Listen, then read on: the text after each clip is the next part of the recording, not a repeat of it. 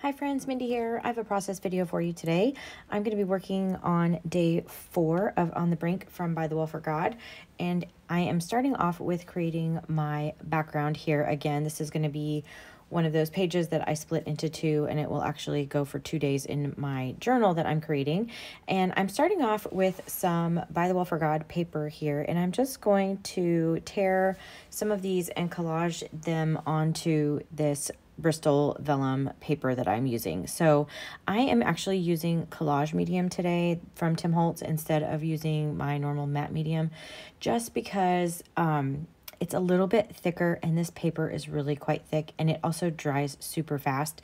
So um, this collage medium works really well for that just to make sure everything's going to stay um, stuck down. Now you don't necessarily need to watch me um, glue down all of these pieces of paper but I am just going to randomly glue um, these different patterns. I have pulled out a few different pages from the kit that I want to use and then I'm also going to be using some leftover um, vintage book paper, like the edges of it, not the actual text, but you know, like if you trim it down, that kind of open space and um, just randomly doing this on here. I have an idea for how I want to work through um, day four, so I'm trying to keep that in mind as I'm as I'm working here. And through the magic of editing, you can see where we've ended up. So.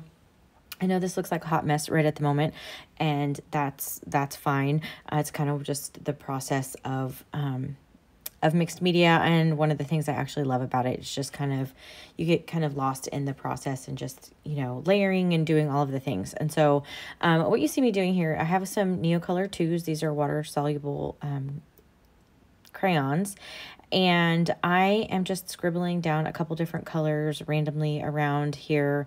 Um, just a couple uh, one is carmine. I can't remember the other name of the uh, pink I think or um, anyway um, and so what I'm going to do is actually use some gesso. This is straight gesso, and I am going to use that to activate these Neocolors. Now, of course, you could do this with, with water, but I'm wanting to, first of all, I want to lighten the color a little bit, and I also want to make it, um, it's going to help make it permanent, but it's also going to help kind of blend everything together. So you can see I'm going around, I am um, activating all of that pigment, and then I'm actually going up on to the papers as well. That's why it was um, kind of important for me to have those rough torn edges. It just makes things easier to blend. I'm going right up over these book pages as well, just blending everything in. I was trying not to use my fingers um, on camera, but it's I just can't help myself. It's just what I do. It's how I work through this.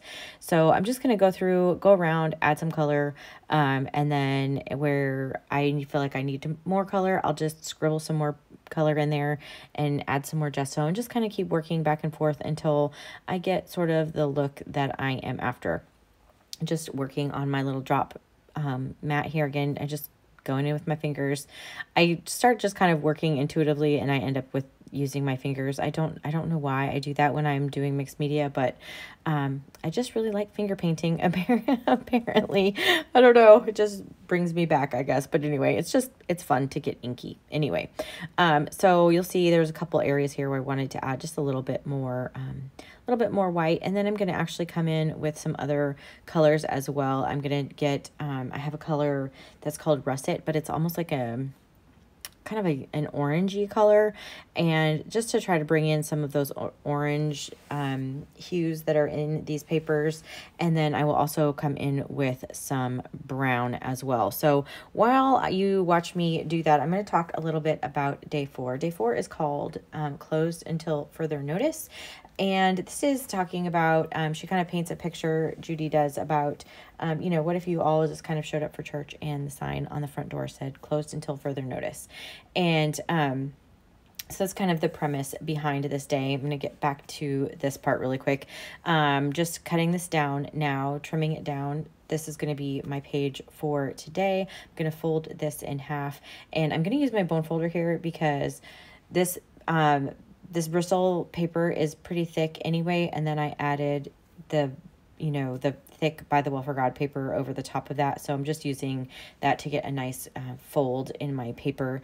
And then I'm going to open that back up. And now I'm going to add just a little bit more color here as well. I'm going to go back in and blend this around. This is that kind of darker um, brown color and I wish I could remember the name of it right off. I I think it's Van Dyke Brown, honestly, but I can't remember quite exactly right off the top of my head. So, going back in with some more of that gesso on the back, just kind of toning down some areas and um, kind of pushing them into the background a little bit more, and leaving sort of this cluster of papers here that I have on the right side. Uh, that's where my focal image is going to be. And what I'm going to end up doing is taking a Stabilo. Um, water soluble graphite pencil here and I'm going to draw a little wonky heart. So one of the things that um, this day is talking about is giving God the honor that is due his name. And it was part of the problem that, that was talked about in Malachi. They were kind of just going through the motions and it was, you know, really upsetting to the Lord. And so when I was reading through this, that my, my brain kind of went in a couple of different areas. Um, and so really quickly, uh, what I'm doing here is just I'm adding some gesso around the outside of the heart, like the negative space, um, with some other neo color. Again, that's that brown color. And I'm just blending that out to really bring that heart out um, into the, the foreground. So um, you can, I'm just going to go around that with several layers of, of paint, just kind of blending things around here. I'm trying to balance um, the process here with a little bit of what I wanted to say about the study. So, um, anyway, you can see me going around and I'm going to actually get into where that graphite pencil is. And I want to kind of start creating the shading for kind of behind my heart. So I'm activating that um, Stabilo pencil with this gesso as well. And then I will come in and add some neo colors and some different things as well. Um, but anyway, getting back to the actual study. So it's really talking about, you know, giving him honor. And of course, you know, we, we know that he's worthy always and in every situation. And, um, you know, part of their, our, our sacrifice is, is worship to God.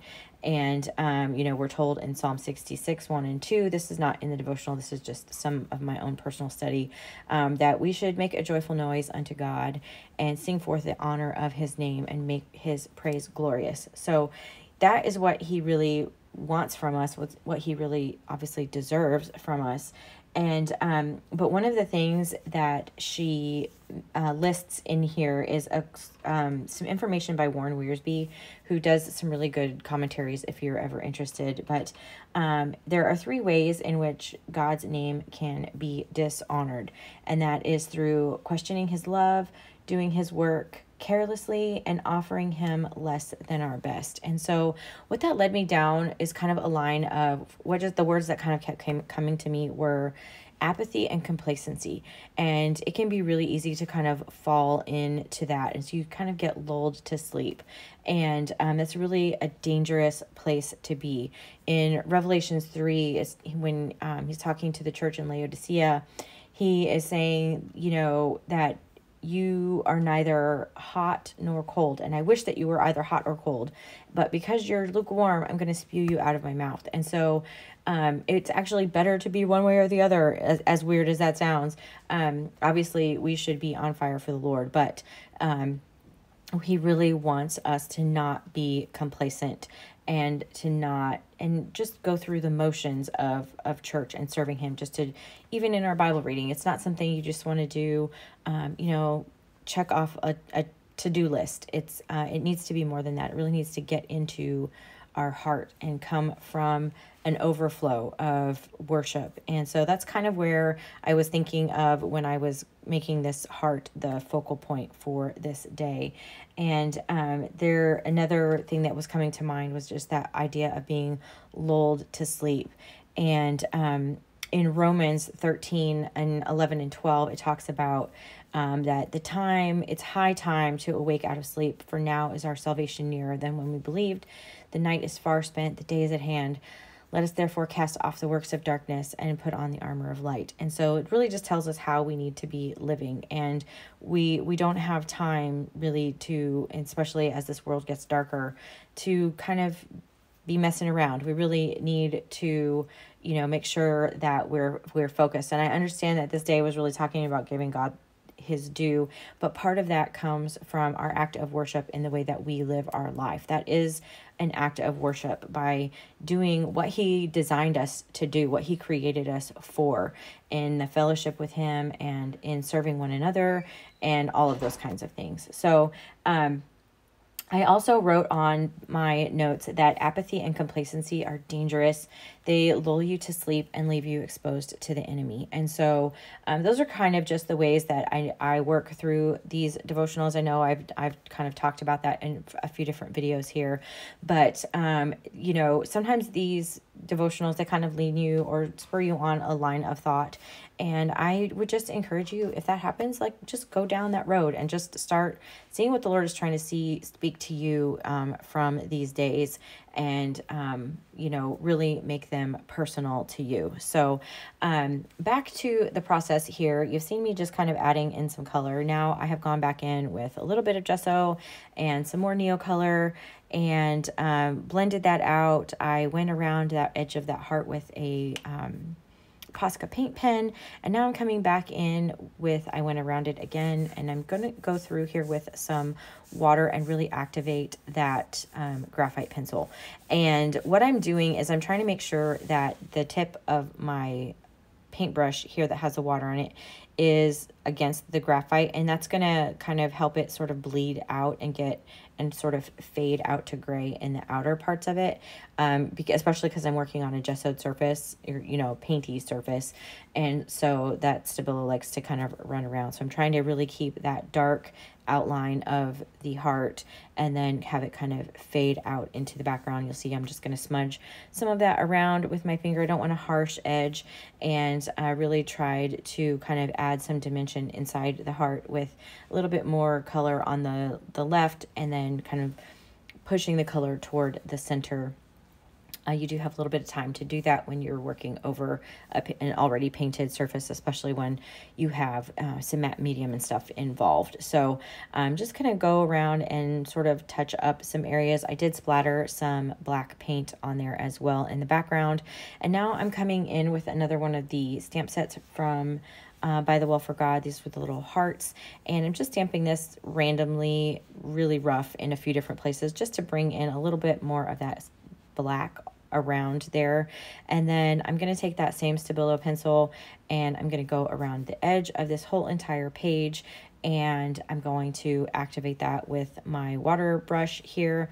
And again just trying to give this a nice border and keeping it so that the most of the color is on the edge and fading toward the inner part of the page if that makes sense. Um, and so you can just kind of push it around the page. So this is kind of what it looks like. You can still see all of those papers underneath. I know it's kind of hard to see on camera but all of those layers are still there. Um, and it just adds some some interest and then I decided just for a little bit of contrast I wanted to come back in with my white pen. This is a Uniball Signo, um, and it's my favorite white pen next to a Posca probably. And I'm just to make some little scribbly marks around my heart here and a few little scribbly lines around some of that stamping as well, just to bring in a little bit, um, just a little bit of white as, as well. I just like the contrast of having the white and the black on there. So Moving now toward the inside pages, you can see I've moved my drop paper here. Um, and on the inside, surprisingly, there's not a whole lot of paint, which is shocking. But um, what I'm going to do is actually, this is the backer that came in one of the items from the devotional kit. And I'm actually going to make some pockets out of it. So you can see I'm just, I cut it down, cut the white parts off, and then I cut those corners out um, just to make some tuck spots. And now I'm going to stamp the number four with the big idea outline and then the script inside with some Kitsch Flamingo that's in um, an archival ink, not a distress. Um, and then here's where I took those notes um, from the devotional. And I thought I was going to just leave this as and use this kind of as the pocket. Um, but in the end, I decided to just go ahead and tuck it in those pockets that I had already created. Just going to kind of go back and forth and try to decide. I didn't want to cover up my number four, so I'm going to make this pocket just a little bit smaller on the left side here. And this is going to hold some of those flashcards and some of my additional notes and scripture references. And then over here on the right, I'll put that um, other pocket, but I'm going to use the full size of that And then that's just one of the journaling cards from the kit. And I'm going to put that in there. But before I do glue those down, I want to add some, just a little bit of color into the background. Um, not a lot that I'm going to do here. I really, um, this is the Multimedia Marks stamp that I'm using with the archival ink in Kitsch Flamingo. But I just wanted a little bit in the background. Um, I'm spending most of the time working on those outside. And so between that and the notes, I don't want to kind of reinvent the wheel for the inside. So I'm basically just kind of creating pockets to hold my, my notes, just you know, like I would normally do in my journals. And then I'm going to go around these pockets with archival ink in black soot.